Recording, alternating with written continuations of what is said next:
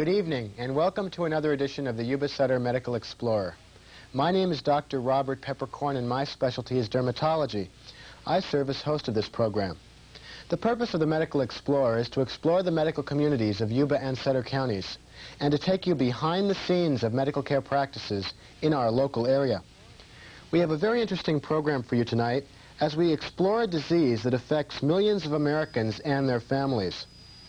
The disease that we will investigate is called Alzheimer's disease. Alzheimer's disease is a surprisingly common disorder that destroys certain vital cells in the brain. It produces severe intellectual disability, referred to by doctors as senile dementia. This mental deterioration occurs in 15% of all individuals over the age of 65 and is responsible for over 50% of all nursing home admissions.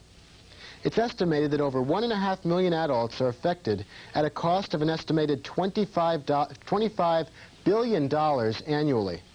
This is a very important subject for us to explore, and I hope that you'll stay with us for the next half hour. Before getting to our topic tonight, let's take a look at the latest medical news. Conclusive proof that lowering the level of cholesterol in the blood reduces the risk of heart disease is now available, according to researchers at the National Heart, Lung, and Blood Institute.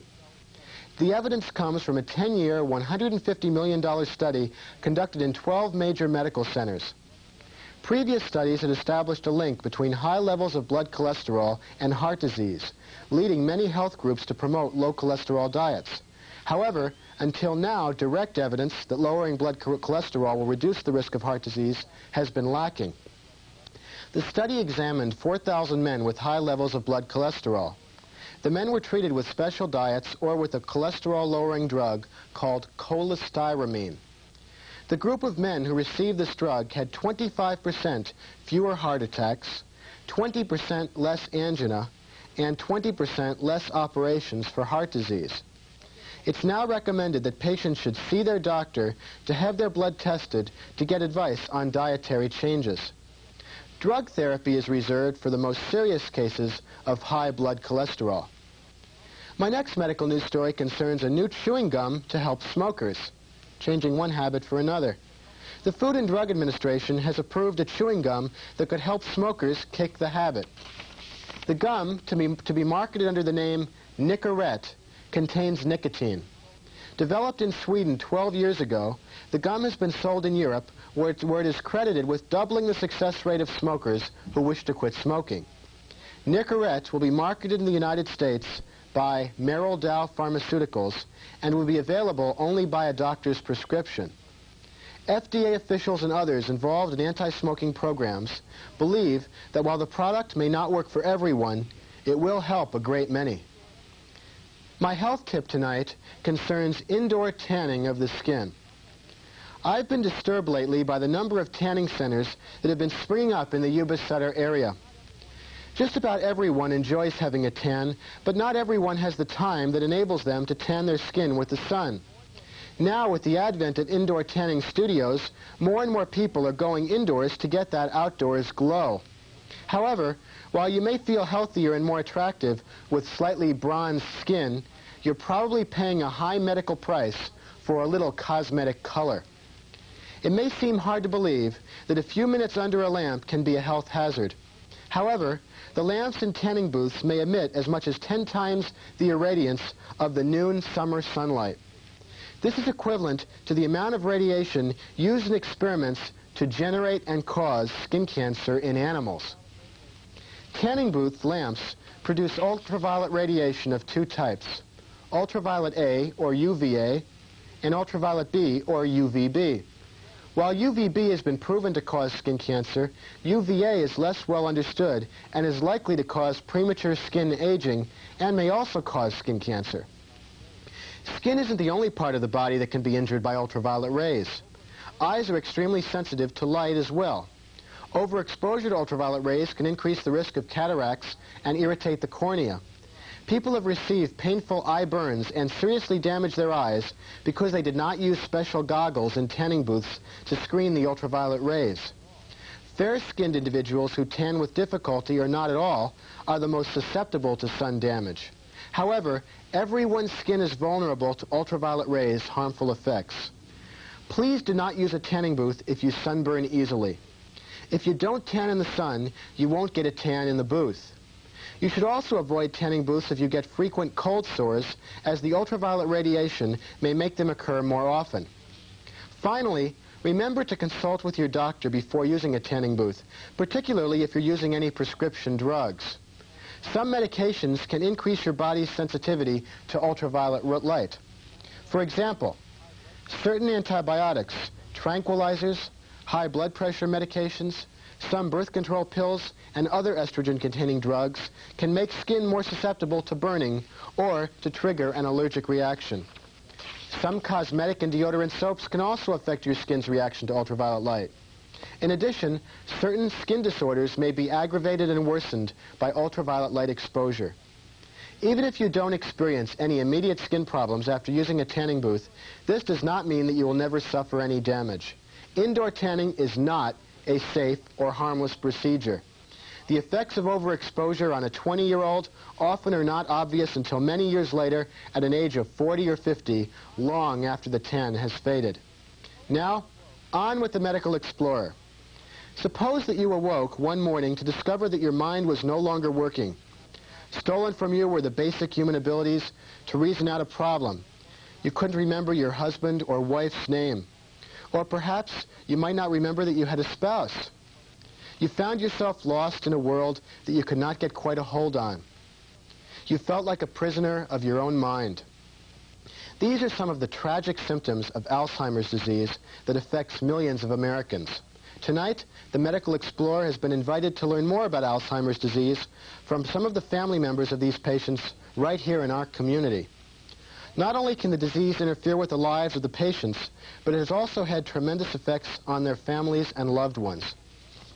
Let's go behind the scenes of our local Alzheimer's disease support group meeting right here in Yuba City. The main word is really support. Um, many of us are just beginning, uh, as I was five and a half years ago, and I knew uh, nothing of the disease other than the name. And now we share problems. Um, oftentimes our friends become a little tired of hearing of some of the things our spouses do.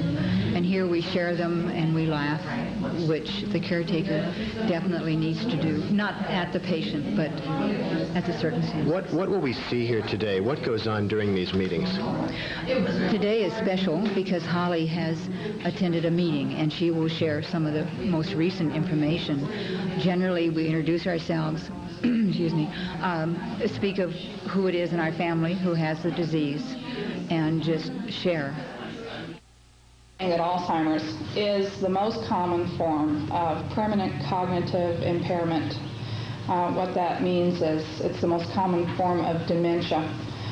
Um, and that the results of that are costing billions of dollars to maintain these people in institutions that the amount is going to grow as um, research is enabling people to live longer. Uh, there's going to be more aged people in the future than there are now. Um, so the numbers are going to grow and the, the cost is going to grow. Um, he said that primarily there are two things that have brought to light Alzheimer's. Um, as being acute, uh, an acute interest in the medical field. One is the discovery that uh, arteriosclerosis, or hardening of the arteries, is not the major cause of dementia, which has for so long um, been the, the train of thought and many times just been classified as senile. Um, he also said that better diagnostic procedures are becoming available since the advent of the CAT scan, which is basically a computerized x-ray of the brain. And with uh, this new technology, they're better able to get a picture of the brain and, and see the differences in uh, demented victims versus um, non-demented victims. Um, pre-death. Uh, until the event of uh, the CAT scan, they had to rely very heavily on autopsies.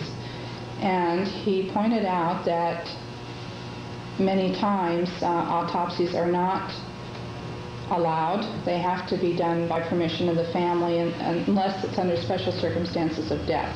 But a patient who is followed, followed regularly by a physician, um, it is the family's decision to have an autopsy or not. So since the advent of the CAT scan, they have been better able to view the brain and determine these differences. Uh, primarily, uh, on the CAT scan, you see a widening between the sections of the brain. That's the easiest way I can describe it to you. Uh, the brain, as most people know, has two sections, two major halves. But inside of each one of those halves, there are small sections like uh, like a jigsaw puzzle. And the line between these sections is very minute. In an Alzheimer victim, on the CAT scan film, these small lines look almost like canals. They're very enlarged. Um, that is due to the shrinkage of the um, brain matter. Uh, so it leaves these wide gaps in between the sections. And also in each brain there are two what they call ventricles, and they're actually just large holes that are sort of uh, oblong shaped like an egg. And in an Alzheimer victim, these are grossly enlarged also uh, compared to a normal brain. So with the advent of CAT scan, they have been able to see these things and determine these things, and thus um, all of a sudden the big interest in Alzheimer's.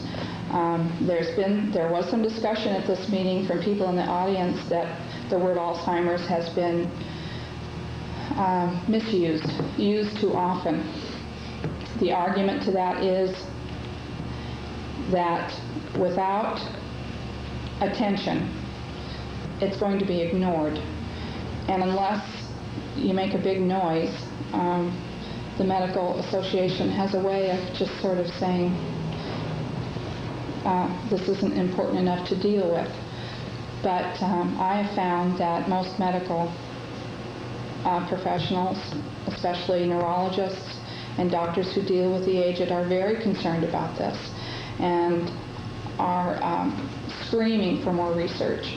And uh, I can't emphasize enough, this was brought up at the meeting, that the need for autopsies and the need for uh, brain tissue to be examined is extremely important.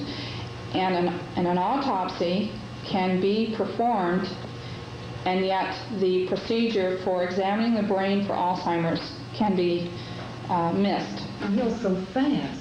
Really, we came in, we came back, we came back in November, and she has really gone downhill since November.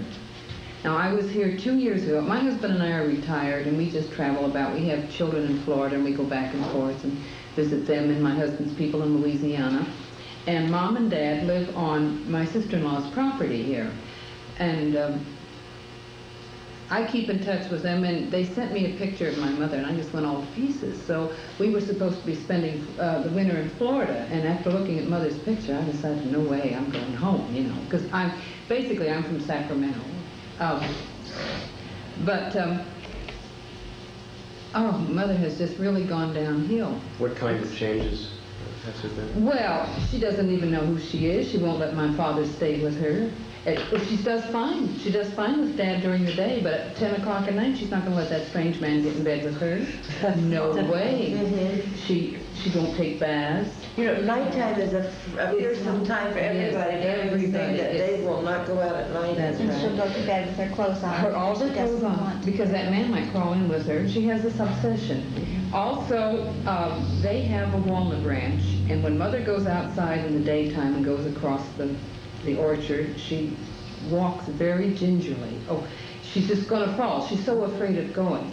But now she gets angry at this gentleman that's in her house at night, and she leaves the house and goes across that orchard like a gazelle. Pitch black. Pitch mm-hmm. black. Goes through a barbed wire fence if she has to. Doesn't She get did. She mm-hmm. Oh, it's and then of course my father is very very heavy, and my father cannot move. You know, so he just picks up the phone, calls my brother, and one of us go out and try Find to find her. Yeah.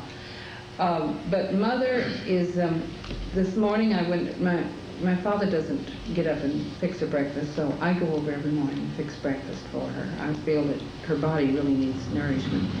So I've been fixing breakfast, and um, What kind of reaction do you get when you try to explain things to her?